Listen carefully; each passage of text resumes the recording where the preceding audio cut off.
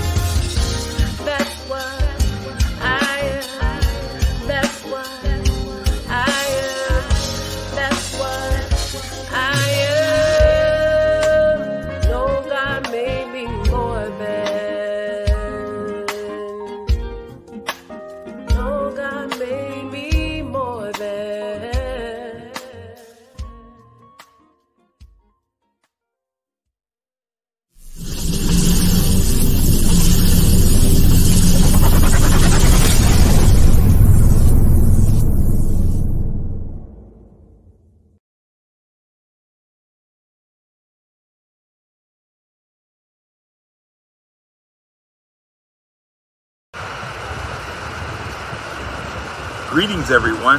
We're really excited that you've joined us for this month's edition of the Life Vision October Experience. Our theme for this month is wealth, affluence, and holiday spending in our community. Now, this is going to be a segment that is going to hopefully revolutionize your thinking about a lot of things. I want to talk about three things today that I think will affect us. It comes from the premise here of, first of all, that in the black community in the United States of America, here we are 150 years since we were property, and now God has blessed us to have $1.6 trillion in spending power. That means the money that comes into our hands in the course of a year wages, business, inheritances, pensions, whatever. $1.6 trillion. That amount of money, if we were a, a country, we would be 15th wealthiest country in, on the face of the earth. $1.6 trillion. Now, unfortunately, on the flip side of that is something we call wealth. Wealth is the money that you get in and you subtract from that and, add up all your assets, your, your income, your furniture, uh, your, your house, uh, stocks, bonds, all that kind of stuff. But then you have to subtract from that what you owe out, the mortgage that you have, the car payment, all of that kind of stuff. And what you're left with is your net worth or your wealth.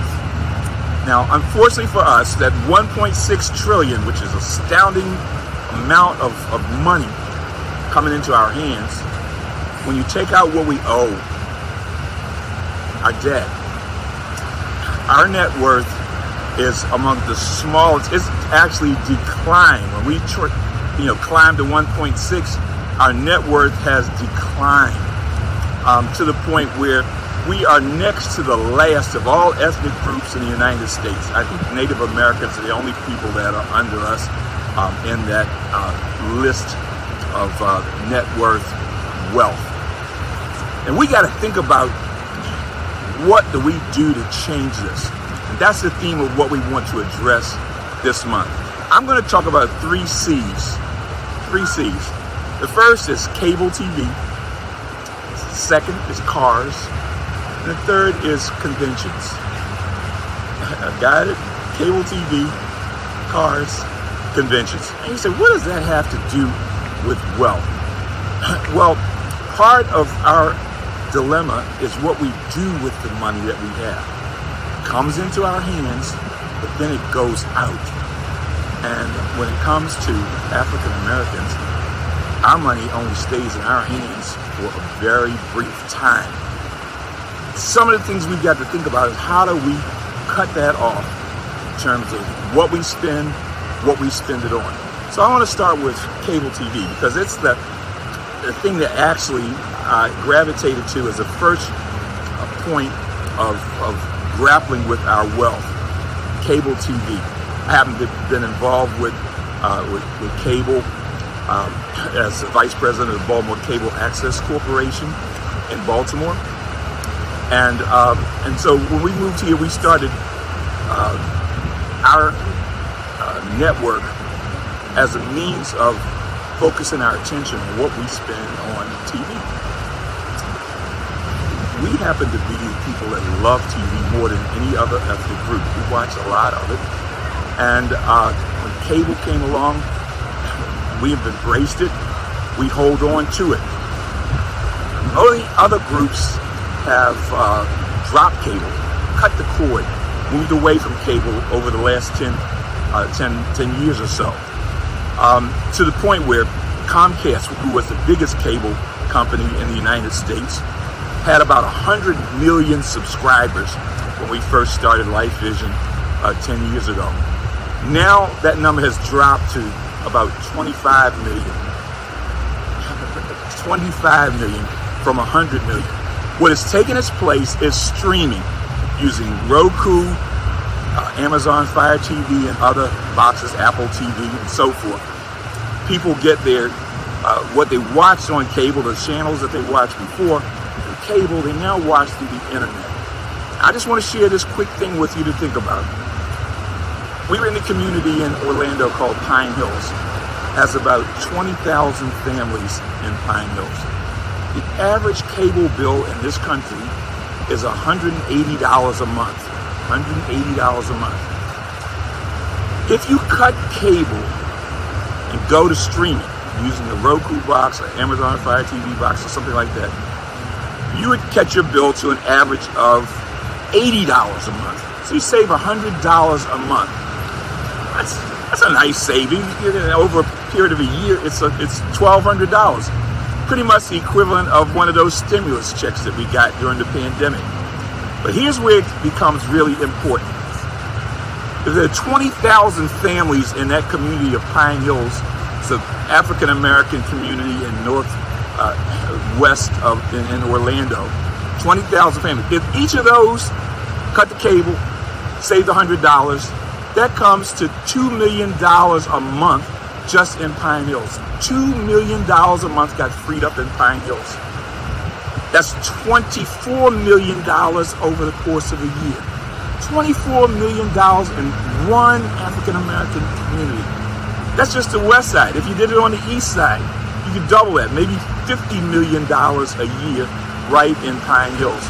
Take that for 10 major cities around the country that are, are led by African Americans, and you're talking about $500 million, half a billion dollars saved in just one community by cutting the cable.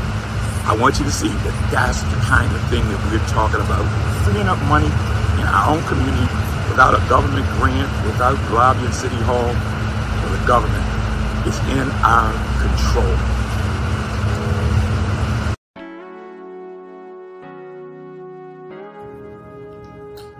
Well, Saints, we've talked first about cable TV and the amount of money that can be released to go towards our wealth by simply switching from cable to streaming uh, through using Roku, Amazon Fire TV, Apple TV, so forth. Now I want to talk about the second C, cars, cable TV, and now cars. Yes, cars. You know, we're stylish people, and no matter where we are on the spectrum of our credit. Uh, we want to look the best and we want to drive a nice car. And a lot of our ideas about what is a nice car comes from uh, what we see out on the road, but we also impacted by uh, advertising, TV advertising for cars. And we're also influenced by those who are around us. I'll give you an example. When my kids were growing up, they were part of the generation that grew up on VH1, uh, MTV, BET, hip hop stars, rappers, uh, filming music videos with pretty girls and fancy cars. Rollses, Bentleys, Maybachs, Mercedes, Range Rovers. That's the kind of thing that, that they looked at as that was uh, that, that was hip. That was what uh, we ought to aspire to our young athletes, young men coming out of college at 22, 23 years old. They were buying these kinds of cars and Ferraris and Lamborghinis and all that sort of thing. And then not only were we uh, influenced by what entertainers, athletes were doing, we also in, uh, uh, influenced by the church world. Uh, there were guys with mega churches, thousands of members, um, big uh, buildings that they were in, but also driving Bentleys, Rolls Royces, Mercedes Benz, and if you really got big, you'd have your own plane. So all these things influence the choices that we think are the things that we ought to aspire to. Now, when we consider our assets and liabilities and our wealth and net worth. Of course, the cars go on the asset side. They're an asset. uh, depending on what you, you paid for them, how you paid for it. Um, not only are they an asset, but they also, if we had to finance it, it's also in the liabilities column. Uh, so when you should, you know, you take what it's worth, subtract what you owe, that's the net worth for that particular uh, investment.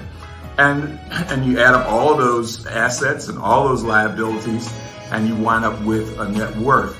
So we have a situation where um, many, many people, you know, in America, you know, we even amongst the black folks with a high unemployment rate, five or six percent, that means that 95, 94 percent of us have a job. We have income. We can qualify for some kind of car, um, and we got to think about this this uh, this equation as it affects our wealth. It's a very important thing to, to, to consider because as wonderful as the car is and and and you know the the pressure internal pressure to to you know not look like you're driving something that's not uh, what the rest of the people in your group are driving uh, you don't want to come to church in a in a beat up car and, and everybody else is driving luxury cars um, but cars are a depreciating asset.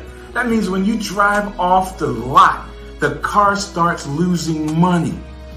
Other investments that you have, they grow every day. The car loses value every day. It becomes uh, uh, less and less valuable every passing day. Um, and this is a problem for us um, because if we have, if, if you have millions of black folks who have a lot of their income invested in a depreciating asset, that means each day they're going down. And listen, my friend, cars have become very, very expensive today. Very, very expensive.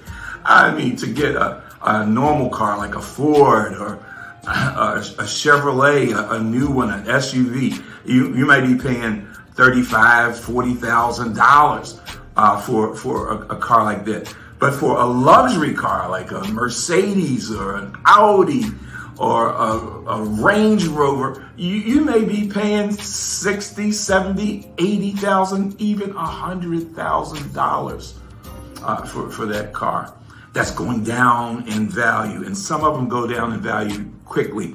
And a lot of luxury cars lose their value very, very quickly.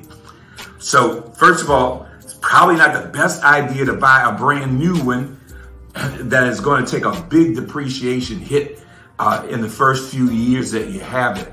So, might consider uh, buying something that's a couple of years old uh, and uh, with you know low mileage, um, and let somebody else take the the, the the big depreciation hit. But listen, when you start to put this into real terms and you start looking at our uh, our population of African Americans in the United States, imagine if, and I want to speak particularly to church leaders because we're dealing with people who are saved and who don't waste all their money, you know, drinking and drugs and partying. Um, they're frugal in those respects. But if they aspire to be like you and you have a luxury car, they don't want to, you know, misrepresent the church and your ministry. So they are going to strive to do the same kind of thing. We need a generation of leaders to come up now that uh, move away from this old notion that as the, pastor a black church, no matter whether it's a storefront or a church with 100 members or 200 members or 500 members, that they must drive a luxury vehicle and set the tone for people's visions of what success is. If they all started buying a $35,000 car, um, with you know a few thousand miles on it and saved forty thousand dollars instead of spending eighty thousand. They spend forty thousand for a car. Forty thousand dollars now freed up in the community. Suppose you got 50,000 people around the country who took that plunge and decided, I, am not going to be, I'm not going to get one of those uh, European or German luxury cars or British luxury cars. I'm going to get something that costs thirty-five or forty thousand dollars. The, the the most up to date uh, stuff in it, uh, tech stuff in it. Uh, runs on regular gasoline. Um, is not is nearly as expensive to maintain as the luxury car.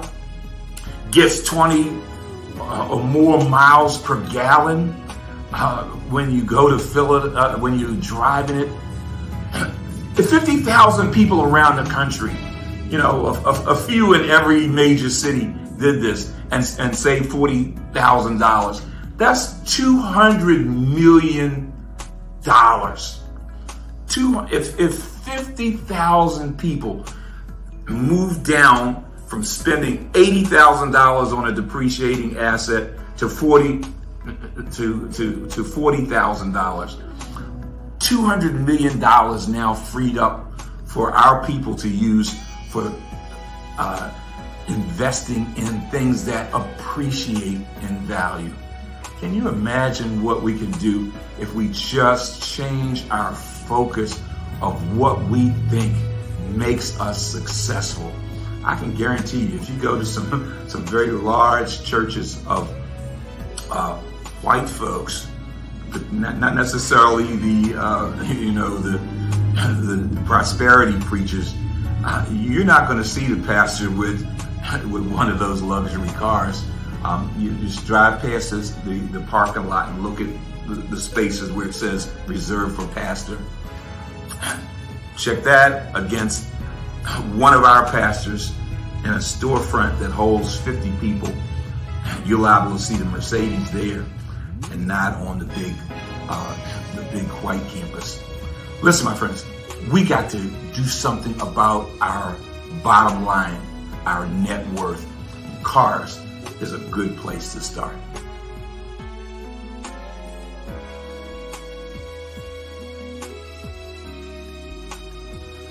All right, friends, we've talked about two of the three C's that I want to address in building the net worth of our community. We chose cable TV as one to start with the first C. Second C, cars. Third C I want to tackle is conventions. Conventions, that's right. Now, I don't want, I'm going to say this ahead of time so that you all don't get mad at me. I'm, I have been in church organizations, I've been in uh, civil, social service organizations all of my life. I was the convention coordinator for our denomination, International Bible Way. I'm on the executive board of bishops, so we make decisions about the conventions and all of our meetings. But I want to show us that if we are serious about keeping money in our community, not having it flow out of our hands, it's directly into the hands of people um, who are going to use our money to to do all kinds of stuff. Um, they're glad to get it. Hotels are glad to get it. Airlines, rental car companies, restaurants, everything that's associated with traveling to a convention and participating are things that, that when we begin to examine the amount of money that we invest in these things, it is a, an outflow from the black community to the larger community, and it's mind boggling the amounts. What are you saying, Pastor? Let's think about this. It was a large convention of one of our major Pentecostal organizations in Baltimore a number of years ago when I was still living there. And there was an article in the Sun paper about the economic impact of this group coming to Baltimore um, to have their uh, convention. It wasn't their main convention. Uh, it, it, it, was a, a convention of the auxiliaries. Um, it was going to have $30 million in economic impact. $30 million. And that's not talking about what happened inside of the organization and the offerings that they took up, you know, for the things that were needed to run the organization. This is the impact of the hotel's fees, the rooms, the, the meals, the banquets, um, the uh, rental cars, uh, you know, everything, uh, sightseeing, all of this stuff uh, where people were excited when the Convention Bureau told them this group is going to be coming on these dates. Get ready because you're going to get an infusion of money uh, that is going to be significant for you. That's one organization, $30 million within the course of a week. Now, if you do this exercise to all of the church groups, just let's take the church groups first of all. So you're talking about the AMEs, you, you're talking about the AME Zions, you're talking about the National Baptist, Progressive Baptist, Missionary Baptist, Church of God in Christ, Pentecostal Assembly of the World, Cool JC, International Bible Way. You can just go on and on and on. There are organizations that I can't even think of right at, right at this moment. And when you begin to add up the impact of just the church groups um, coming to hotels and signing a contract uh, to to uh, guarantee that there's going to be a certain number of room nights um, and that there's going to be a certain amount of food and beverage that you're going to contract from them it comes out to hundreds of millions of dollars every year because we do these meetings. Most of us have two or three meetings a year. Some of the smaller ones and then the big ones. Is a lot of money. Now, this doesn't include just the church groups because we have the Divine Nines, fraternities, sororities. We have social uh, organizations, the NAACP, the Urban League, all kinds of other groups that are meeting all over this country all year long. We call the hotels and say, hey, we want to come to your hotel. Uh, how much will you let us come for? And uh, they are glad to receive our money, excited about it. and the pandemic, they lost so much money that coming out of it, uh, they're going to help themselves to whatever money you have to make up for what they lost during during that time. My friend, I've, I've done studies. Uh, I invite you to do it. Just just start thinking about how much money you spend in your organization um, to uh, bring people together, and then envision it as if from all of these uh, churches and not only the churches, because it comes from the people who are in the churches. We are taking our paychecks, we're taking our hard-earned dollars, and we're bringing it deposited in in Marriott and um, and and all, you know all of these other hotels. They are having a ball. The airlines are happy. The rental car companies are happy. The restaurants in the area. Everybody is going away with our money we got to go back and raise some more money to come back again uh, a, a few months later. We need to think about how we operated even in the pandemic when we couldn't come together. Um, we started using Zoom to have our board meetings and, and, and learned how to innovate and have putting on services and revivals even and workshops online. Many organizations found themselves in the black in a way that they hadn't before because they didn't have all the expenses that came with coming together. Sure, we need to come together.